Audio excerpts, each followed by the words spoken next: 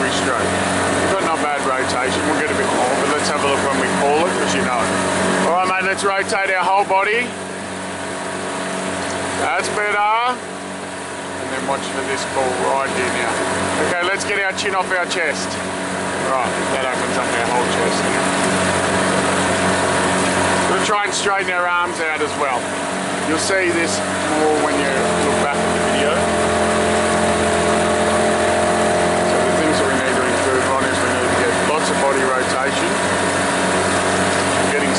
good. Straightening our arms out.